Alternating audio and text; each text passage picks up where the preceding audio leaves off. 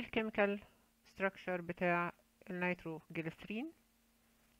طبعا شايفين إن الجليسرين اللي كان المفروض هنا فيه OHs اتشالت ال H ات واتحط واتحط NO2 دي ال equation اللي بتمثل التحضير بتاع النيتروجليسرين. بنقوم بإضافة mixture من ال HNO3 وال H2SO4 المخلوطين مع بعض بنسبة 1 to 1 بنضيفهم على الجليسرين أو الجليسرول فبينتج لنا نيتروجليسرين زي ما هنشوف دلوقتي. طبعا في اسم تاني للنيتروجليسرين وهو واحد واتنين وتلاتة tri nitro oxy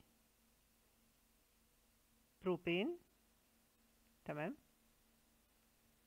هنا هي هتقوم بوضع عشرة ملي من ال fuming sulfuric acid. وهتحطهم في ice bath عشان تحافظ على ثبات درجة الحرارة. بعد كده هتضيف عشرة ملي من ال nitric acid طبعا ال reaction ده طارد للحرارة فهتتأكد باستمرار إنها بتجدد التلج علشان تثبت درجة الحرارة عند عشر درجات مئوية.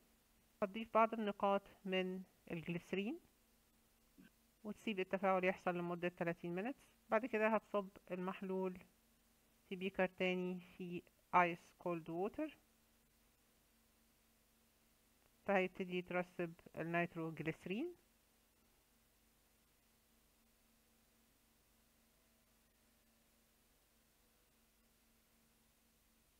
بعد كده هتضيف sodium bicarbonate عشان تعادل ال excess من ال acids.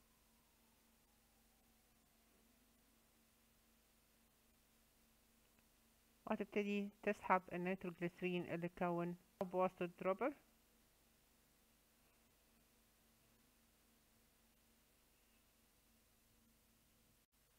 طبعا النيتروجليسرين هو المادة الأساسية في تكوين الديناميت.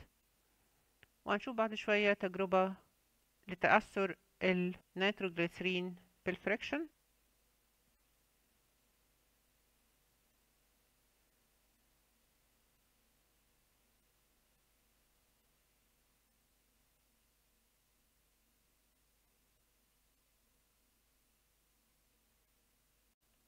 هنا هنشوف تجربة بسيطة للطرق على بعض قطرات من النيتروجليسرين وهنشوف حساسية النيتروجليسرين للطرق والانفجار اللي بيحدث بسبب الطرق عليه.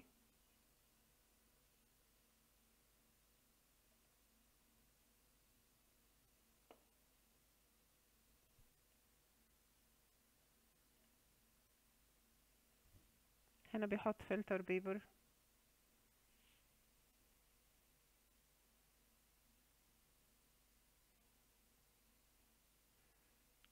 بيفتح طبعا إزازة النيتروجليسرين بهدوء وبياخد منها بعض القطرات.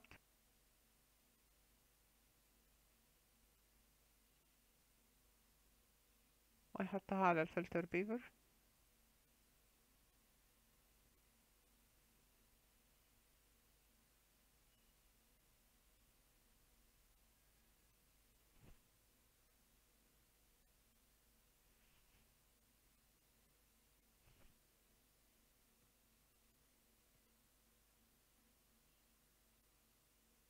وهجيب مطرقة وهيطرق على النيتروجليسرين.